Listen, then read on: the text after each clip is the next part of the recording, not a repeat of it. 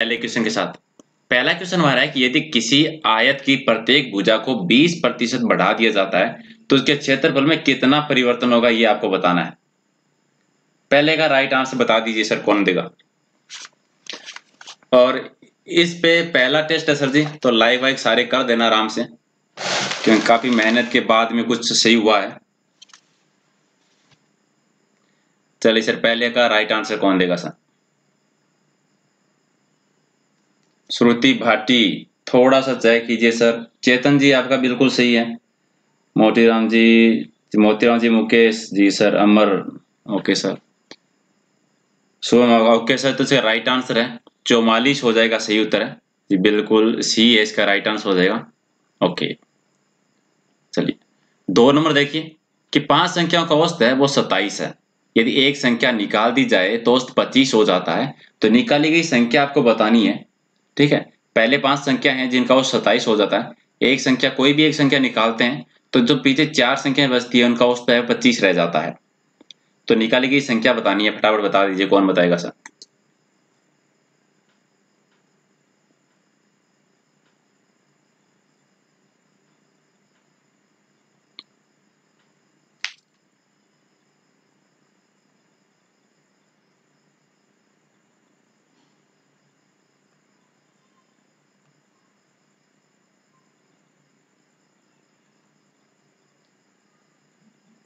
जी sir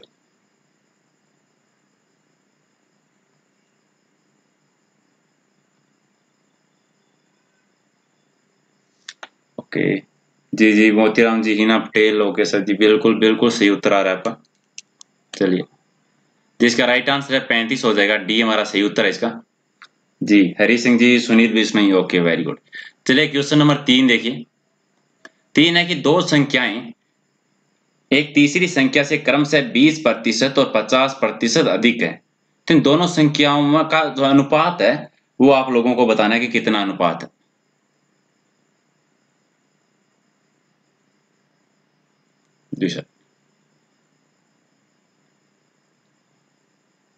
तीन का right answer आराम से कर लीजिए, मैथ के धीरे धीरे करते हैं। मोहित, नवनीत।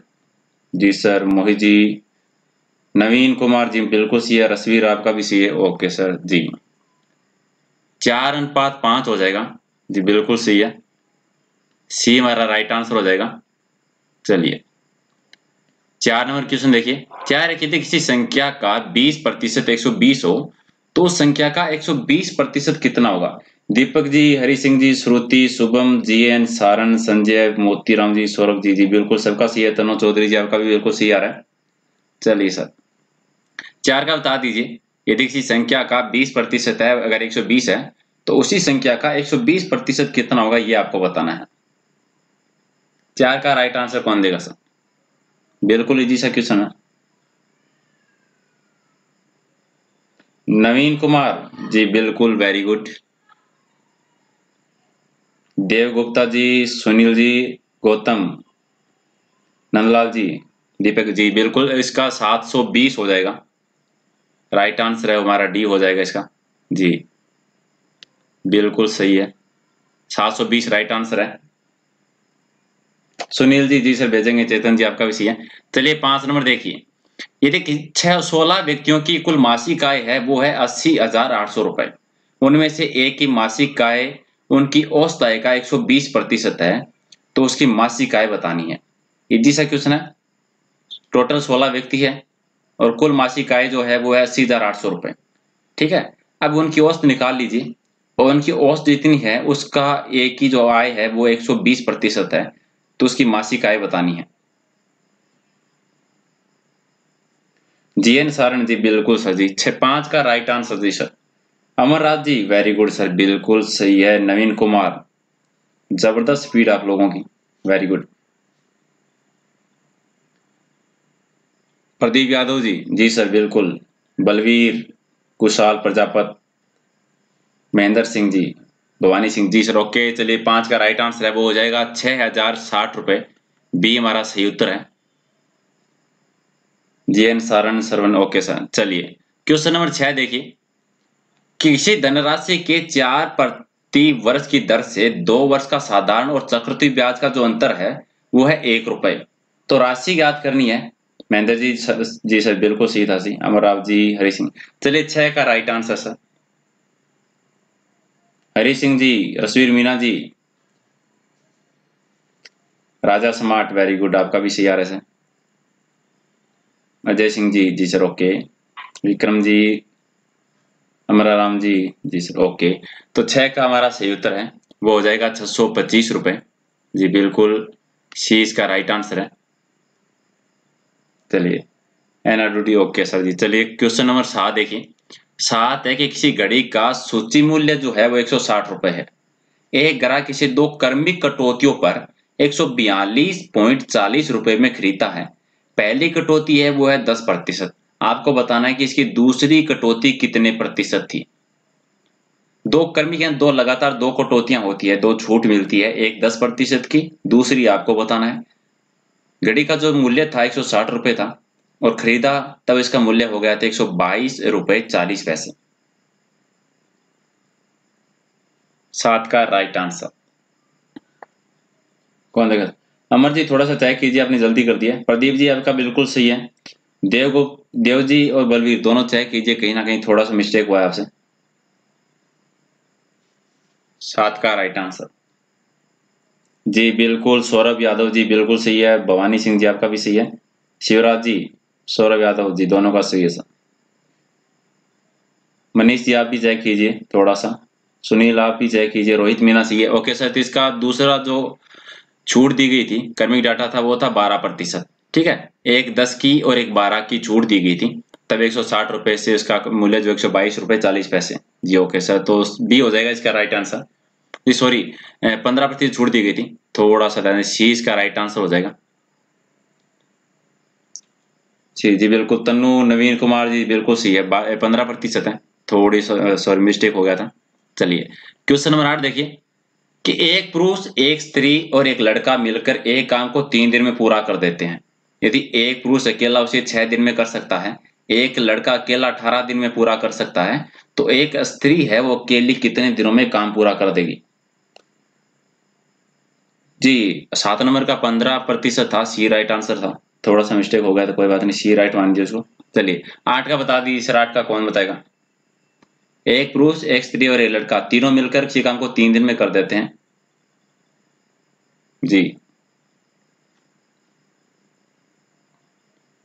अजय सिंह जी जी अजय सिंह जी बिल्कुल सही है। रिचपाल शिवराज थोड़े से आप चेक कीजिए, कहीं ना कहीं थोड़ा सा मिस्टेक हुआ है आपसे। सोनिया सिंह जी बिल्कुल सही है, सोनिया जी। विक्रम जी आपका भी सही है, सोनू कुमार ओके सर। तुषार जी, कैसे हो सर जी? श्याम गहलोत जी, रमेश मीना, थोड़ा सा चेक कीजिए आप। परमजीत आपका सही है। रश्वी मीना आपका भी सही है। सुनील कुमार जी, सही टाइम ये हमेशा साढ़े नौ बजे होती है सर। मनीष ठाकुर आपका भी सही है। ओके सर इसका राइट आंसर है, वो, हो जाएगा। जी, बिल्कुल। ओके सर थोड़ा और टाइम ले लेते हैं। कोई बात नहीं सर आराम से बता दीजिए आप। टाइम ही ले रहे हैं।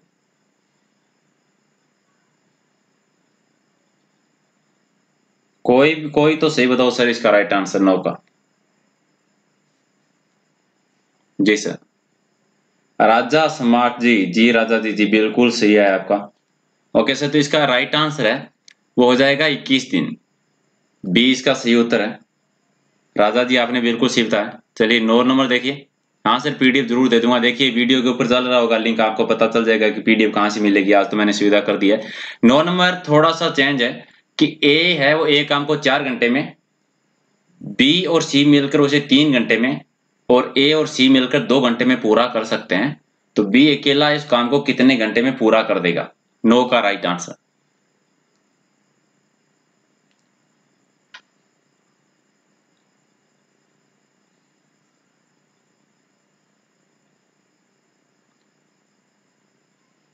जी देवगुप्ता जी, अब बोलिए सर, अब लिखिए आप क्या लिख रहे थे अभी?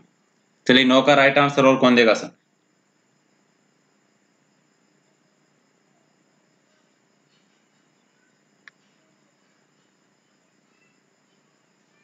जी, बी बी, जी, बिल्कुल बारह घंटे हो जाएगा सी है sir okay B right answer हो जाएगा इसका नो का.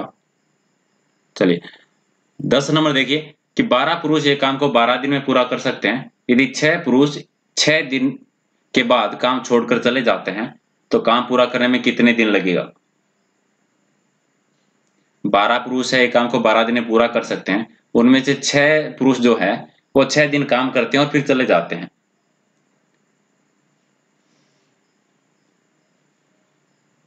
जी, दस का राइट आंसर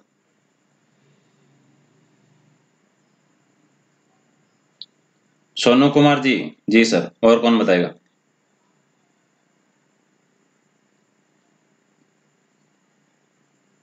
पप्पी सिंह जी, आपका भी सही है sir.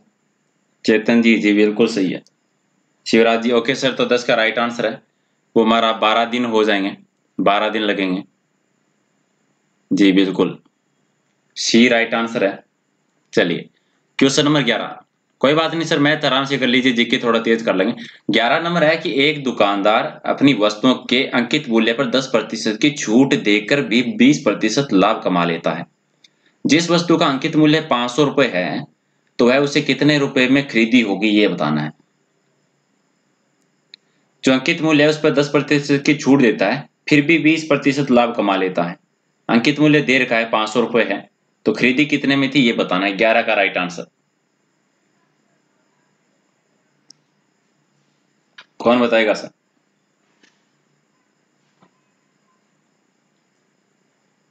Joshi ji very good Joshi ji बिल्कुल सही है। विक्रम सिंह जी, आपका भी सही है, sir. Shivraj Yogi okay sir Kushal, थोड़ा सा चेक कीजिए आप। पप्पी सिंह जी जी से बिल्कुल। श्याम थोड़ा सा चेक कीजिए, कहीं ना कहीं मिस्टेक हुआ है थोड़ा सा। महेंद्र सिंह जी जी सर सोनी आपका भी सही है सर दीपिका आप भी चेक कीजिए। रविंद्र जी जी okay Deepak Kumar. Okay sir इसका राइट आंसर है, वो हो जाएगा तीन सौ पिछहत्तर रुपए। जी सर तीन सौ पिछहत्तर रुपए हो जाएगा। डी हमारा सही उत्तर है। चलिए, बारह नंबर। बारह नंबर क्वेश्चन है कि एक समकोण त्रिभुज, जो कि एक्स वाई जेड है उसमें जो वाई पर समकोण है, यदि एक्स वाई है, वो दो रूट सिक्स तथा X Z minus Y Z बराबर दो हो तो sec X plus ten X कितना होगा? इसका बताइए सर, कौन देगा राइट आंसर बारह का सही उत्तर। जी, आराम से कर लीजिए, कोई बात नहीं, इस क्वेश्चन को टाइम देते हैं आपको अच्छे से। बारह का सही उत्तर, सर, कौन देगा बारह का right answer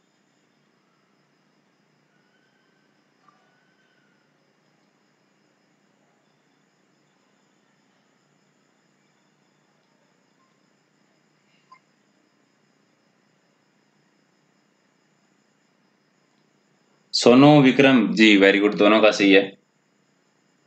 और कौन देगा? दीपिका, गौतम, दोनों चेक कीजिए। शिवराज योगी जी, कोई बात नहीं, सर। अमरराज आपका भी सही है। रोहित, मनीष, जी, पूनम, आप भी चेक कीजिए। कहीं ना कहीं मिस्टेक हुआ है। ओके सर इसका राइट आंसर है। बारह का। वो हो जाएगा रूट छ यानी बी हमारा सही उत्तर है इसमें। जी। बी राइट आंसर हो जाएगा बारह का। चलिए क्वेश्चन नंबर तेरह। एक वस्तु के क्रय मूल्य तथा विक्रय मूल्य का जो अनुपात है, वो है आठ अनुपात नौ। तो उसका लाभ प्रतिशत बताना है। इजी सा क्वेश्चन है, फटाफट बता दीजिए।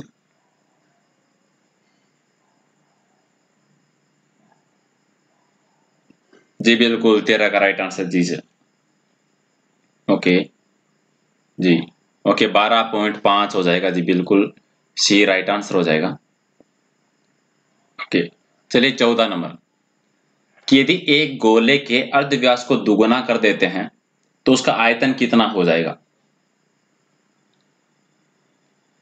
एक गोले के अर्धव्यास को अगर दोनों दोगुना कर देंगे तो उसका आयतन में क्या परिवर्तन होने वाला है वो बताना है। चौदह का राइट आंसर।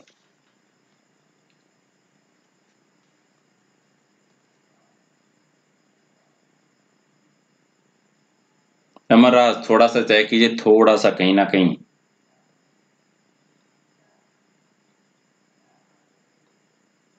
रसवीर जी जी बिल्कुल सही है। पपी सिंह जी जी सर। बंटी, आपका भी सही आ रहा है, सर। जी बिल्कुल, आठ गुना हो जाएगा। जी बिल्कुल, डी इसका राइट आंसर है। चलिए, पंद्रह नंबर क्वेश्चन देखिए। यदि एक रेलगाड़ी एक खंबे को पार करने में छह सेकंड लेती है तथा उसकी लंबाई है, वो है 120 मीटर। तो रेलगाड़ी की चाल बतानी है, वो भी किलोमीटर प्रति घंटा में। एन आर डूडी जी, आपका भी सही आ रहा था। राजा समाट, आपका भी सही आया था। अमर राज जी, कोई बात नहीं भैया जी। चलिए पंद्रह का बता दीजिए, सर। बिल्कुल इजी सा क्वेश्चन है।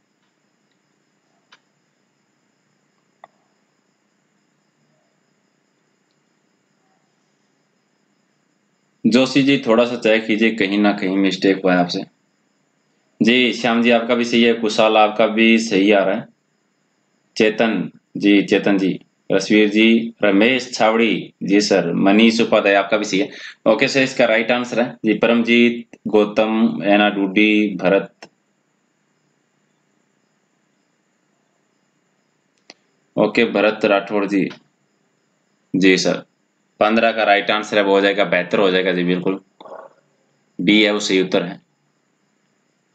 क्वेश्चन नंबर सोलह देखिए। दूध और पानी के बयालीस लीटर मिश्रण में दूध और पानी का अनुपात है, वो है पाँच अनुपात दो। यदि इस मिश्रण में तीन लीटर पानी और डाल देते हैं तो नए मिश्रण में दूध और पानी का जो अनुपात होगा, वो आपको बताना है कि क्या अनुपात होगा। सोलह का बता दीजिए सर, कौन देगा राइट आंसर कुशाल थोड़ा सा तय कीजिए, उल्टा कर दिया आपने। थोड़ा सा तय कीजिए इसको। याद रखिए, तीन लीटर पानी मिला रहे हैं और अनुपात दूध और पानी का पूछा है। दूध और पानी का, थोड़ा सा पढ़िए। रजवीर, बंटी, रसवीर जी। जी, बिल्कुल। चंद्र कुमार जी। ओके, सर तो इसका राइट आंसर है, वो हो जाएगा। एक अनुपात दो हो जाएगा। बहुत सारे स्टूडेंट ने एक किया है राइट आंसर इसका। तो थोड़ा सा आपने दूध और पानी को लिखने में मिस्टेक कर दी कि पहले क्या लिखना है। जी बी हो जाएगा। ओके सर चलिए क्वेश्चन नंबर सत्रह देखिए। सत्रह है कि एक स्कूटर तथा एक टीवी सेट के मूल्य का जो अनुपात है, वो है पाँच, अनुपात चार। यदि स्कूटर का मूल्य टीवी के सेट मूल्य से है, वो छह सौ रुपए अधिक हो तो टीवी का मूल्य कितना होगा? कुशाल जी, कोई बात नहीं सर चेक कर देंगे दोबारा। सत्रह का बता दीजिए सर। लक्ष्मण, विश्राम, राम स्वरूप जी जी से बिल्कुल सही आया था। डूडी जी, मनीष ठाकुर, आपका भी सही आया था। चलिए सत्रह का राइट आंसर कौन देगा सर? गौतम जी, क्या करे आवाज़ रुक रुक के आ रही है? सभी को रुक रुक के आ रही है? आपको ही आ रही है? बता दीजिए, अगर सभी को रुक रुक के आ रही है तो सर कुछ सॉल्यूशन करें। जी मनीष जी चेतन रसवीर जी आपका भी सी है। भैरोलाल जी जी सर। चलिए, सत्रह का राइट आंसर है, वो हमारा हो जाएगा चौबीस हज़ार रुपए। बी राइट आंसर जी, बिल्कुल सही हो जाएगा सर। चलिए, मुझे कोई एक चीज़ बताइए सबसे पहले। दो तीन कमेंट आए हैं कि आवाज़ कट कट के आ रही है। कोई एक दो मैसेज कर दीजिए, सभी को कट कट के आ रही है या बिल्कुल सही आ रही है? अठारह नंबर क्वेश्चन करने से पहले कोई एक बार मैसेज कर दीजिए। सही आ रही है। Okay thank you Ramesh ji. चलिए क्वेश्चन नंबर अठारह देखिए सर। कि किसी समद्विभाज त्रिभुज के आधार पर खींचे गए लंब की ऊंचाई है, वो है आठ सेमी। त्रिभुज की परिमिति जो है, वो है बत्तीस सेमी। तो त्रिभुज का क्षेत्रफल बताना है। मनीष जी, रोहित जी, धन्यवाद सर। सही आ रही है, धन्यवाद सर। ओके सर अठारह नंबर का राइट आंसर बता दीजिए। मैथ के एक दो क्वेश्चन और रहे हैं, फिर जीके करेंगे हम। अठारह का कौन देगा सर राइट आंसर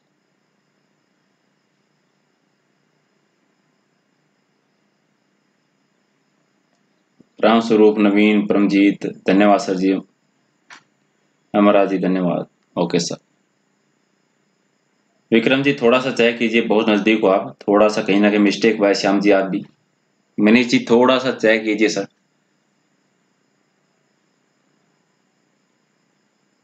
कैलकुलेशन में कैलकुलेट जी, रमेश छावड़ी जी। जी, बिल्कुल सही है आपका सर।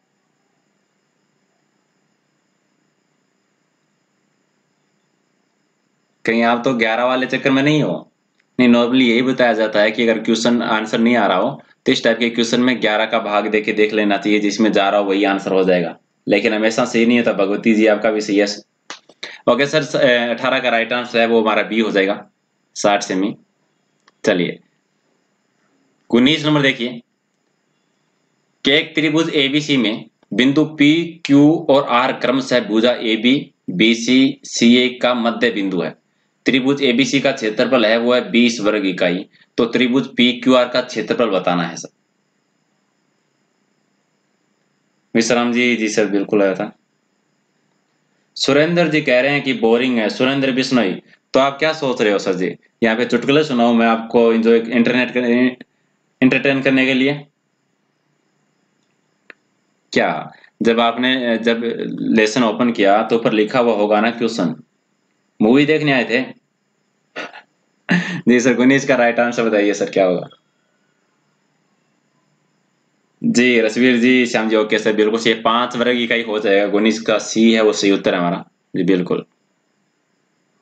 चले बीस नंबर।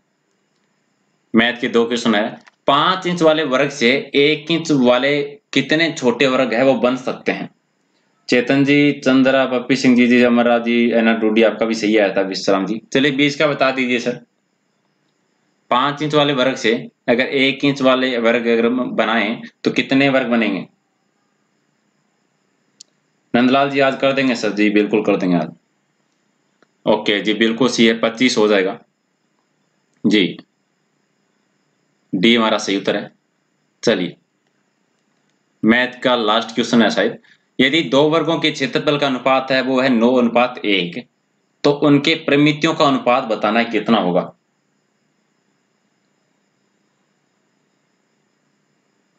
जी सर इक्कीस का राइट आंसर जी, बिल्कुल। जी जी, बिल्कुल सर सी हो जाएगा, तीन अनुपात एक। जी, सबका सी आ रहा है। ओके सर चलिए। बाईस नंबर। एक वर्गाकार क्षेत्र का क्षेत्रफल है, वो है पाँच सौ सेमी। किलोमीटर है सॉरी बारह किलोमीटर प्रति घंटे की चाल से एक घोड़े को उसके चारों ओर दौड़ने में कितना समय लग जाएगा? एक वर्गाकार क्षेत्र का क्षेत्रफल दे रखा है, पाँच सौ किलोमीटर है। एक घोड़ा है, जिसकी चाल है बारह किलोमीटर प्रति घंटा। उसके चारों ओर दौड़ाना है आपको। वो दौड़ है, कितने टाइम में पूरी कर लेगा, कितने घंटे में? बाईस का।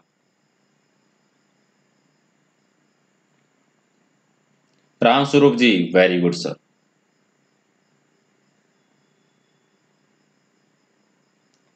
Amararam ji जी के कब आएगी सर बस आने वाली है सर थोड़ी दूर रही है दिल खुश जी, कल से ये सुविधा भी कर देंगे सर जी, बिल्कुल.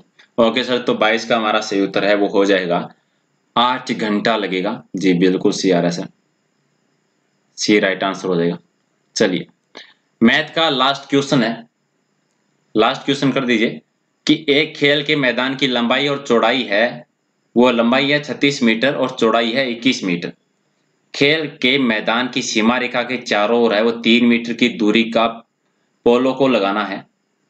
तो आवश्यक पोलों की संख्या है, वो कितनी होगी ये बताना है। मैदान के चारों ओर सीमा रेखा के चारों ओर लगाना है, तीन मीटर की दूरी पर पोलो लगाने हैं। कितने पोल लगेंगे ये बता दीजिए। तेईस का लास्ट है, मैथ का लास्ट क्वेश्चन है। राम स्वरूप जी जी, बिल्कुल सी अमर जी, आप थोड़ा सा चेक कीजिए। राम स्वरूप जी, आपका सी एस है परमजीत है ना डुड्डी, बंटी सैनी। जी, बिल्कुल। मोनू सिंह जी, नवीन कुमार। ओके सर जी सर ओके तो तेईस का हमारा सही उत्तर है। जी। मनीष जी। जी sir Rasveer Meena ji, Ram okay sir तो तेईस का राइट आंसर है, वो अड़तीस हो जाएगा। बी हमारा सही उत्तर है। चलिए। मैथ कंप्लीट हुई। अब जीके करते हैं। पहले साइंस करेंगे और फिर जीके के क्वेश्चन करेंगे करंट सामान्य ज्ञान के। तो फटाफट आंसर करने अभी। ग्रेफाइट विद्युत का सुचालक है, लेकिन है क्यों? ये रीजन देना है। चौबीस का सही उत्तर।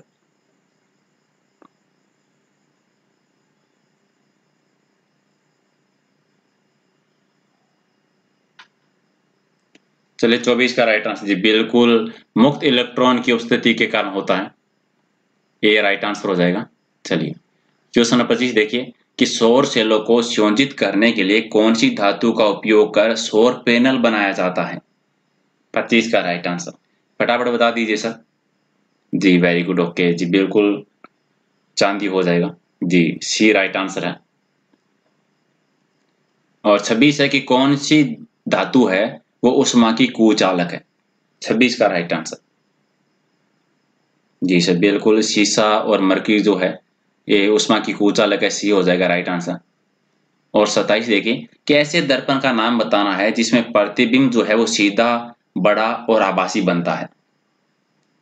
कौन से दर्पण में प्रतिबिंब सीधा बनता है, बड़ा बनता है और आभासी बनता है? जी बिल्कुल, अवतल दर्पण में बी हो जाएगा, जी सर. चलिए, क्वेश्चन नंबर अट्ठाईस देखिए, कि धोने के सोडे के रूप में किसका उपयोग किया जाता है? अट्ठाईस का राइट आंसर जी सर। जी, बिल्कुल। सोडियम कार्बोनेट का बी हो जाएगा इसका राइट आंसर और ट्वेंटी नाइन देखिए, कि पुनरुद्ध भवन की ऐसी क्षमता कौन से जीव में पाई जाती है? ट्वेंटी नाइन जी, परमित जी, गौतम जी, शिवराज जी ओके सर जी, बिल्कुल। लीवर फ्लूक में सी इसका सी उत्तर हो जाएगा। ओके। तीस नंबर है कि दूध के निष्कासन के लिए कौन सा हार्मोन है वो जिम्मेदार है? दूध के निष्कासन के लिए कौन सा हार्मोन जिम्मेदार होता है? तीस का राइट आंसर जी, बिल्कुल। जिसका टीका लगाने की बात है, टीका लगाते हैं। जी ऑक्सीटोसिन हार्मोन। जी, बिल्कुल। सी सही उत्तर हो जाएगा इसका। ओके। चलिए, इकतीस नंबर देखिए। कि अंतस्तरावी तंत्र का सर्वोच्च कमांडर है, वो किसको माना जाता है? जी, इकतीस का। जी, बिल्कुल।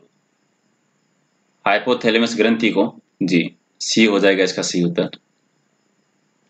और बत्तीस है कि अविकसित बच्चों को देने, जन्म देने वाली प्राणी है, वो कौन सी? कौन सा प्राणी है वो अविकसित बच्चों को जन्म देता है? जी, बत्तीस का। जी, बिल्कुल कंगारू देता है। डी इसका सी उत्तर हो जाएगा।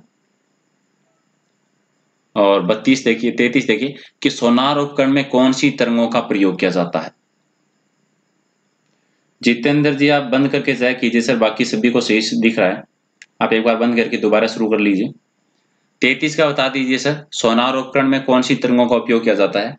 जी, बिल्कुल प्रासव तरंगे का किया जाता है। सी, से उत्तर हो जाएगा इसका। और क्वेश्चन नंबर चौतीस देखिए किन में से कौन सा है वो कीटाहारी पादप है? कीटाहारी पादप कौन सा है? चौतीस का। जी, बिल्कुल। ये सारे ही हैं तो डी राइट आंसर हो जाएगा इसका। और पैंतीस है कि हृदय का पेस मेकर किसे कहा जाता है? हृदय का पेस मेकर किसको कहते हैं? पैंतीस का सही उत्तर। जी, बिल्कुल। ऐसे नोड को कहते हैं हो जाएगा इसका राइट आंसर और छत्तीस नंबर देखिए, कि पादप को कौन सा उत्तक यांत्रिक सहारा प्रदान करता है? पादप का कौन सा उत्तक है, वो यांत्रिक सहारा प्रदान करता है छत्तीस का। जी बिल्कुल जाइलम करता है, जी बिल्कुल सियार आपका। ये हो जाएगा। और क्वेश्चन नंबर सैंतीस है कि उत्कों के अध्ययन को क्या कहा जाता है? उत्कों के अध्ययन की शाखा को क्या कहते हैं हम? सैंतीस का राइट आंसर जी बिल्कुल हिस्टोलॉजी ए से उत्तर हो जाएगा। और अड़तीस है कि कौन से जंतु को संपल जंतु कहते हैं? किस जंतु को चंपल जंतु भी कहा जाता है? जी सर, अड़तीस का राइट आंसर जी, बिल्कुल। पेरामीसियम को कहते हैं। डी हो जाएगा इसका। और थर्टी नाइन हमारा है कि रेशम कीट पालन का प्रचलन है, वो सबसे पहले किस देश में हुआ माना जाता है? थर्टी नाइन जी, बिल्कुल। रेशम कीट का पालन सबसे पहले चीन में माना जाता है। डी हो जाएगा राइट आंसर इसका। ओके चलिए, चालीस नंबर। कि पादपों की आर्थिक महत्व की दृष्टि से अध्ययन की शाखा क्या कहलाती है? चालीस। जी सर, बिल्कुल। आर्थिक वनस्पति विज्ञान कहते हैं। बी हो जाएगा इसका राइट आंसर। और फोर्टी वन है कि प्रारंभ में रीढ़ की कुल हड्डियों की संख्या है, वो कितनी होती है?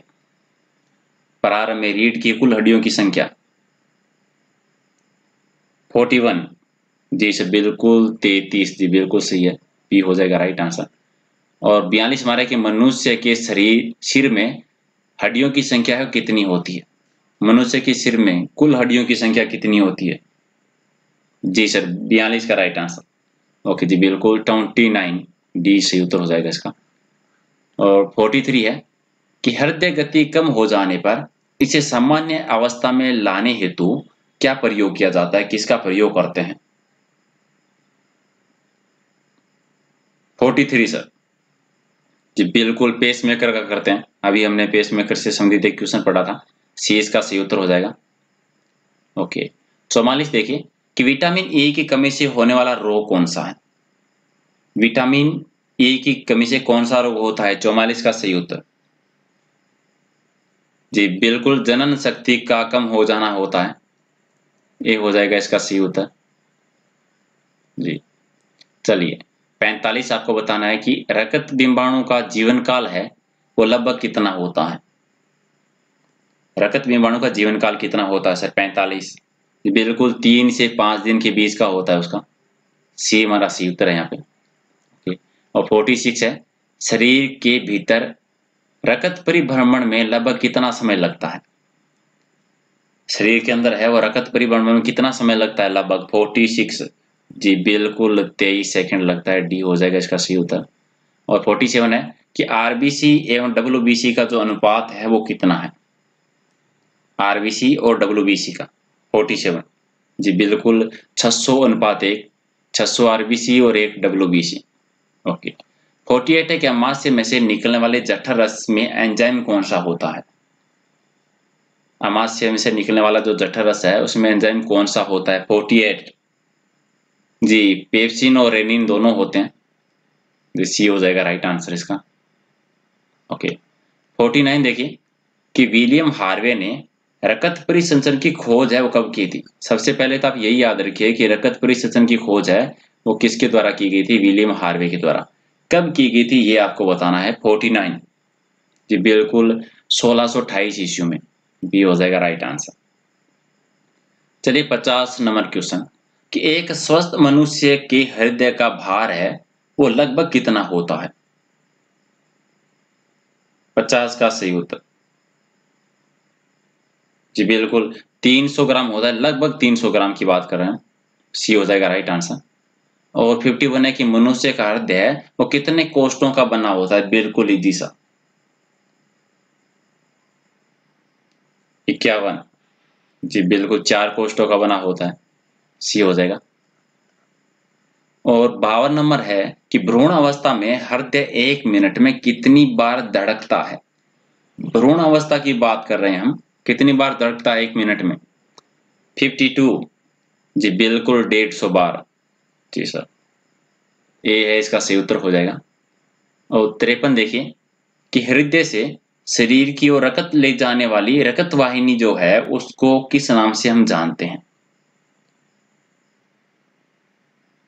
जी सर। हृदय से जी, तिरपन का। जी, बिल्कुल धमनी कहते हैं। बी हो जाएगा। और चौपन है। अब साइंस हमारी खत्म हो चुकी है। फड़ नृत्य में कितने व्यक्ति होते हैं? फड़ नृत्य जो होता है, उसमें व्यक्ति कितने होते हैं? जी, चौपन। जी, बिल्कुल बयालीस होते हैं, फोर्टी टू। सी हो जाएगा इसका। और पिछपन नंबर है। कि कनाना, बिलाड़ा, समदड़ी आदि स्थानों पर प्रमुखतः कौन सा नृत्य किया जाता है? ये तीन स्थल हैं, कनाना, बिलाड़ा और समदड़ी। इन तीनों क्षेत्रों में कौन सा नृत्य प्रसिद्ध है, ये बताना है पिचपन का। जी, बिल्कुल गैर नृत्य प्रसिद्ध है यहाँ पे। सी हो जाएगा, सी उत्तर। और छप्पन है कि मारवाड़ का डांडिया, जो जालोर का लोकप्रिय प्रसिद्ध नृत्य कौन सा है? यहाँ थोड़ा सा मिसप्रिंटिंग है। यहाँ पे कहने का मतलब ये है कि अगर मारवाड़ का डांडिया प्रसिद्ध है तो जालोर का कौन सा नृत्य प्रसिद्ध है? जी, छप्पन का। गुड़ला नृत्य है, डांडिया नृत्य है, ये दोनों मारवाड़ में होते हैं। जालोर में कौन सा होता है? जी, बिल्कुल, ढोल नृत्य है, जालोर का प्रसिद्ध है। ये हो जाएगा। और सिटावन है कि बागड़ क्षेत्र में प्रचलित पारंपरिक लोकवाद्य कौन सा है? बागड़ क्षेत्र का बताना है। पारंपरिक लोकवाद्य कौन सा है? सिटावन का। जी, बिल्कुल हरनाई है। याद रखिए, बागड़ का हरनाई भी हो जाएगा। और इठावन है कि लोक नृत्य में किस जनजाति का सर्वाधिक योगदान है? भील, ग्रासिया, मीणा या फिर सहरिया? इक्यावन। बिल्कुल, भील जनजाति का सर्वाधिक महत्व है, ये हो जाएगा इसमें। सौराराम जी सरवन जी जी बिल्कुल सही आ रहा था, सर। चलिए 59 देखिए नियमन में से कौन सा नृत्य राजस्थान का नहीं है? कौन सा नृत्य है वो राजस्थान का नहीं है? 59 जी, कठपुतली भी है, फुंदी नृत्य भी है, गरबा, घुमर जी, पंत पाणुवानी नहीं है। डी हो जाएगा राइट आंसर और साठ देखिए, शेखावाटी क्षेत्र का लोकप्रिय नृत्य बताना है। शेखावाटी साठ, जी, बिल्कुल जी है। कच्ची घोड़ी। एक लहूर नृत्य भी है क्वेश्चन आया था? लहूर नृत्य कौन से क्षेत्र में है? तो वो भी याद रखिए शेखावाटी क्षेत्र में ही है चलिए भी इसका बी हो जाएगा। इकसठ नंबर है कि निम्न में से जो युगल नृत्य है, वह कौन सा है? जो नृत्य युगल में किया जाता है, जोड़े में किया जाता है, इकसठ का। जी, बिल्कुल पणियारी नृत्य। जी, एक हो जाएगा राइट आंसर और नृत्य कला के विकास में योगदान के लिए प्रसिद्ध कौन है? नृत्य, विकास की बात करें विकास के योगदान में जिसने सर्वाधिक ख्याति प्राप्त की है। जी सिक्सटी टू जी, बिल्कुल काल बेलिया डी हो जाएगा। राजस्थान में होली के दिनों में, मेवाड़ में और बाड़मेर में किस ने की धूम मचा रखी है? यानी कौन से नृत्य है? थोड़ा सा मिस प्रिंटिंग यहाँ पे। यानी कहने का मतलब होली के दिनों में मेवाड़ में और बाड़मेर क्षेत्र में कौन सा नृत्य है वो सर्वाधिक किया जाता है? जी, गैर नृत्य किया जाता है होली के अवसर पर गैर नृत्य होता है यहाँ पे। ये हो जाएगा। अब बताना है, चौसठ है कि निम्नलिखित में से किस शासक के राज्य काल के दौरान दिल्ली शिवालिक स्तंभ अभिलेख है वो उत्कीर्ण करवाया गया था?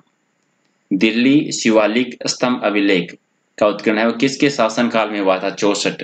बिल्कुल विग्रह राज चतुर्थ के शासन काल में हुआ था, ये बी हो जाएगा। पैंसठ है कि उन्नीस के दशक में राजनीतिक जागरण के उद्देश्य से किसने ब्यावर से राजस्थान नामक अखबार का प्रकाशन किया था? सबसे पहले तो आप ये चीज़ याद रखिए कि राजस्थान का जो प्रकाशन हुआ था, वो ब्यावर से हुआ था और 1920 में हुआ था। अब बता दीजिए किसके द्वारा ये किया गया था। तो बिल्कुल ऋषि दत्त मेहता ने किया था ये। पैंसठ का राइट आंसर ये हो जाएगा। चलिए, पैंसठ दो हो गए, अच्छी बात है। चलिए, स्थान जो अपनी मृदा शिल्प के लिए विख्यात है, वो कौन सा है? जी सर। मृदा शिल्प के लिए। जी, बिल्कुल मोलेला गाँव में। और छियासठ देखिए कि 25 मार्च उन्नीस सौ अड़तालीस को गठित संयुक्त राजस्थान का मुख्यमंत्री किसको बनाया गया था?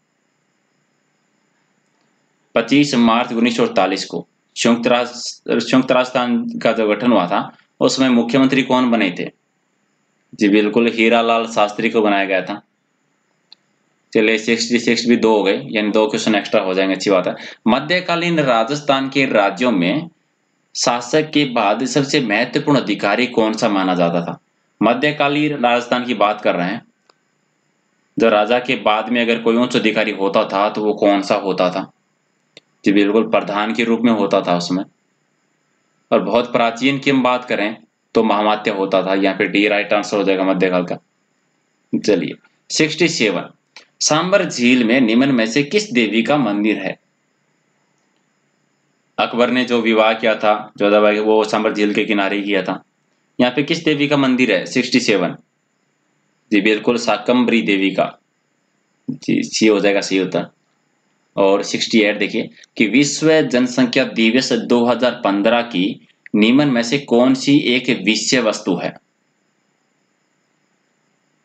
विश्व जनसंख्या दिवस 2015 की बात करें 68 जी, बिल्कुल आपातकाल में असुरक्षित जनसंख्या यानी कमज़ोर जनसंख्या, ये हो जाएगा राइट आंसर इसका। जी। चलिए 69 देखिए। किरण छोड़ भाई रेबारी के बारे में कौन सा कथन जो है वो सही नहीं है? रन छोड़ भाई रेबारी के बारे में बात करें 69 का। जी 69 का राइट आंसर जी, बिल्कुल, और बाकी सारे से ये सी सी नहीं है, वह भारतीय सेना में सिपाही था, ये सी नहीं है, बाकी तो सारे से बिल्कुल सी है। ओके सिक्सटीन सी हो जाएगा राइट आंसर चलिए, सत्तर नंबर देखिए, कि किस देश में शिक्षक दिवस को हरि गुरु कहा जाता है? शिक्षक दिवस को हरि गुरु है, वो किस देश में कहते हैं? जी, बिल्कुल। मलेशिया में होता ये कारनामा। डी हो जाएगा राइट आंसर और एक इतर देखिए कि 2015 में चिकित्सा के क्षेत्र में योगदान के लिए राजस्थान से निम्न में से किसे है, वो पद्मश्री से सम्मानित किया गया था? इकहत्तर का सर। जी, बिल्कुल। डॉक्टर राजेश कोटेचा को भी हो जाएगा सही उत्तर। ओके चलिए बेहतर नंबर है कि two years eight months and twenty eight nights के लेखक कौन है? ये पुस्तक का नाम है और इसके लेखक आपको बताने बेहतर का सही होता और इसके लेखक जो है सर्वाधिक चर्चा में रहते हैं। इतना जो बोलते हैं आप आंसर बता दोगे। गौतम जी, शिवराज जी, मीना, हसीना, रवि जी सर, बिल्कुल श्याम जी, संजय। सलमान रुश्दी की पुस्तक है ये। बी हो जाएगा इसका सही उत्तर। और क्वेश्चन नंबर तिहत्तर देखिए, कि भारत के किस राज्य में कुपोषण के शिकार बालकों का प्रतिशत है, वो सर्वाधिक है? तिहत्तर का। जी बिल्कुल, झारखंड में है, कुपोषण के शिकार की संख्या है, वो प्रतिशत जो है सर्वाधिक है। चलिए चौहत्तर नंबर, कि लोक सेवा दिवस किस दिन मनाया जाता है? लोक सेवा दिवस कब मनाया जाता है? चौहत्तर का राइट आंसर। जी, बिल्कुल। इक्कीस अप्रैल को जी, सही आ रहा है आपका। चलिए पिछहत्तर देखिए। भारत सरकार की मुद्रा योजना का उद्देश्य बताना है। आया हुआ क्वेश्चन है ये दो बार। पिछहत्तर का कौन देगा सर राइट आंसर? जी, बिल्कुल। छोटे व्यापार स्थापित करने हेतु आसान वित्तीय सहायता उपलब्ध कराना है। और मुद्रा योजना का मुख्य उद्देश्य था। डी हो जाएगा इसका राइट आंसर। जी, चलिए। Seventy six. भूमि अधिकरण विधेयक लोकसभा में है, कितने संशोधनों से पारित हुआ था? भूमि अधिकरण विधेयक सेवेंटी सिक्स। जी, बिल्कुल, पूरे नौ संशोधन किए गए थे इसमें। नौ हो जाएगा। चलिए सेवेंटी सेवन।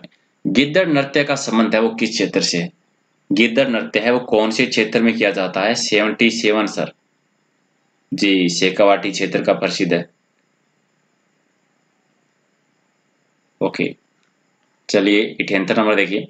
कि राजस्थान के लोक नृत्य एवं उनके प्रचलन क्षेत्र के संबंध में निम्नलिखित में से कौन सा युगम है, वो सही नहीं है। कि गिद्दड़ नृत्य वो शेखावाटी क्षेत्र में होता है। ढोल नृत्य है, वो जालौर में होता है। बमरसिया नृत्य है बीकानेर में होता है। और डांडिया नृत्य है, ये मारवाड़ में होता है। केंद्र का बता दीजिए, सर, कौन सा गलत है? जी, बिल्कुल। बम नृत्य बीकानेर में नहीं होता, ये गलत है। अग्नि नृत्य होता है बीकानेर में। चलिए सी है वो सही उत्तर हो जाएगा इसका। सेवेंटी नाइन है कि नृत्य जो केवल पुरुषों के द्वारा किया जाता है। सेवेंटी नाइन बताइए, कौन सा नृत्य है जो केवल और केवल पुरुषों के द्वारा किया जाता है? जी, बिल्कुल कच्ची घोड़ी नृत्य। और अस्सी है कि निम्नलिखित में से कौन सा मेव लोक नृत्य है जिसमें स्त्री व पुरुष दोनों भाग लेते हैं? सबसे पहले तो इस पे ध्यान दीजिए, मेव लोक नृत्य के बारे में बताना है, जिसमें स्त्री और पुरुष दोनों भाग लेते हैं। जी, बिल्कुल रणबाजा नृत्य। डी हो जाएगा। ओके एटी वन देखिए, कि तेरह ताली नृत्य है, वो किस लोक देवता को समर्पित है? किस लोक देवता से संबंधित है? जी, बिल्कुल रामदेव जी से संबंधित है। बी हो जाएगा इसका। और एटीट्यूड है सॉरी एटीट्यूड है कि नीमन में से कौन सा नृत्य है, वो कालबेलियों का नहीं है। कौन सा नृत्य है जो कालबेलियों का नहीं है? एटीट्यूड बिल्कुल चरी नृत्य नहीं है। चरी नृत्य जो है गुजरों का है। बाकी जो है, कालबेलियों का है, बिल्कुल सही है। चलिए एटी थ्री देखिए, कि वालर नृत्य जो है, वो किसके द्वारा किया जाता है? किस जाति का है जी? जी, बिल्कुल ग्रासियों का नृत्य है। डी हो जाएगा इसका। चलिए एटी फोर देखिए। कि शेखावाटी क्षेत्र का प्रसिद्ध नृत्य, ये तो रिपीट हो गया है। गिद्दर नृत्य में भी करके आए हैं। और एटी फाइव है कि मूंडिया बास, जो कि अलवर में है, खेरा बल्लोक में जीएसआई को किसके वृद्ध भंडार मिले थे? ये प्राचीन एक स्थल की खुदाई हुई थी यहाँ मोंडियाबास में, जो कि लोर में है। वहाँ प्राचीन वृहत भंडार मिले थे जीएसआई के द्वारा। तो किसके मिले थे ये बताना एट्टी फाइव का सर? जी बिल्कुल, तांबे के थे वो। भी हो जाएगा और काफ़ी चर्चा में भी रहा था ये। एट्टी सिक्स है कि केसरपुरा गाँव में हीरा मिलने की संभावना व्यक्त की गई है। ये गाँव जो है वो राजस्थान के कौन से ज़िले में है? केसरपुरा। जी, प्रतापगढ़, बांसवाड़ा, उदयपुर। जी। ओके सर केसरपुरा जो प्रतापगढ़? ओके एट्टी सेवन देखिए कि एलो खनिज की दृष्टि से राजस्थान का भारत में प्रथम स्थान है। लो खनिज की दृष्टि से राज्य का स्थान कौन सा है?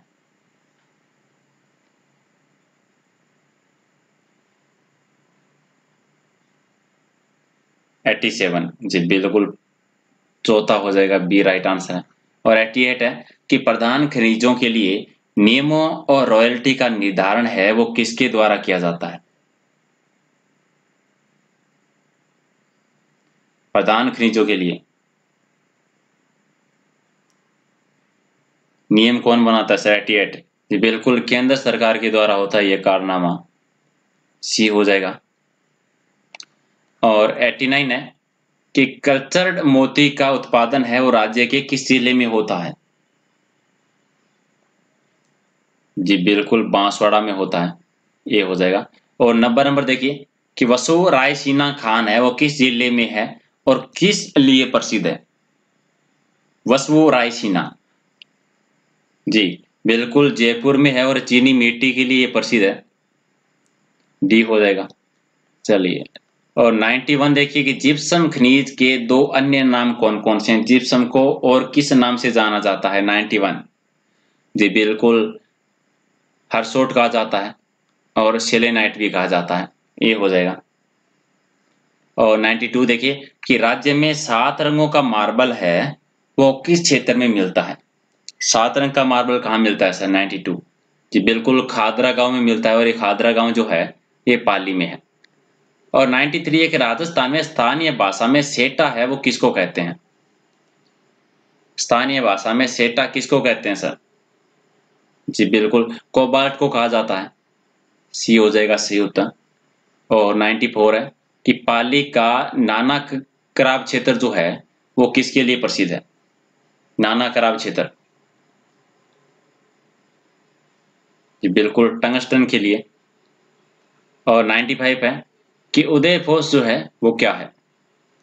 उदय फोर्स क्या है, सर? 95 जी, बिल्कुल। रोग फॉस्फेट की गतिया श्रेणी जो खेतों में सीधे उर्ग का काम करती है, उसको उदय फोर्स के नाम से जाना जाता है। तो डी हो जाएगा यहाँ पर राइट आंसर हमारा।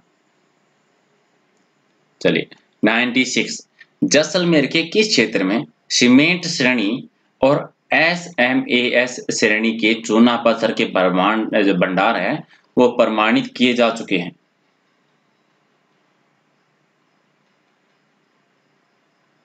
जी 96 जी बिल्कुल सानू क्षेत्र में, और सानू क्षेत्र जो है, किस ज़िले में जैसलमेर में। सी हो जाएगा इसका राइट आंसर और 97 है कि वह खनिज कौन सा है? जिसका खनन और विपणन कार्य है, वो राजस्थान राज्य खनिज विकास निगम लिमिटेड द्वारा नहीं किया जाता है। और जितने भी खनिज है, लगभग सभी का है, वो राजस्थान राज्य खनिज विकास निगम लिमिटेड करता है। लेकिन कौन सा खनिज है, जिसका खनन है, वो नहीं करता ये। 97 जी, बिल्कुल लो, खनिज लोहा का नहीं करता। तो यहाँ पर राइट आंसर है हो जाएगा सी चलिए 98 राजसमंद सिंधेसर और खुर्द स्थान है, वो किसकी खनिज है? जी शीशा जस्ता की है। ओके चलिए सेकंड लास्ट क्वेश्चन आंधी क्या है? कितना सिंपल सा क्वेश्चन है सर आंधी क्या है? अब ये मत कर देना कि ऑप्शन ही गलत है सर आंधी तो कुछ और होती है। चलिए 99 जी, बिल्कुल जयपुर ज़िले की सबसे बड़ा है, खनन क्षेत्र का नाम है आंधी। तो डी हो जाएगा यहाँ पर राइट आंसर चलिए लास्ट क्वेश्चन करते हैं आज के टेस्ट का।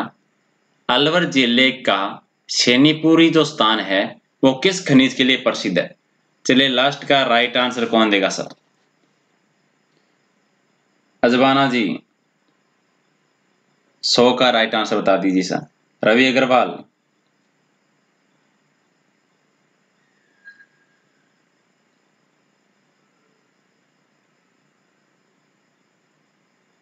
और कौन देगा? लक्ष्मी, जी लक्ष्मी जी, मीना। जी बिल्कुल इसका बेराइट हो जाएगा। डी हमारा सही उत्तर है। ओके गाइज़ तो ये थे आज के सौ क्वेश्चन डी इसका राइट आंसर है। और पीडीएफ कहाँ से लेनी है? ये स्क्रीन पे चल रहा है। आप देख सकते हो टेलीग्राम से लेनी है। ठीक है सर। और इसके अलावा काफ़ी टाइम बाद, यानी 10 से 15 दिन हो गए हम रोज़ाना कोशिश करते थे कि लाइव हो जाए तो बड़ी मुश्किल से आज हुआ है। तो आज तो स्पेशली सभी से रिक्वेस्ट है कि लाइक कर देना और शेयर कर देना सर। बहुत मुश्किल से हुआ है, काफ़ी मेहनत की है। और हमेशा आज से जब तक एलडीसी का एग्ज़ाम नहीं होता, रोज़ाना है वो साढ़े नौ बजे रहेगा सर। अगर नोटिफिकेशन नहीं भी आता है तो भी आप लोगों को रेडी रहना है। Okay guys thank you good night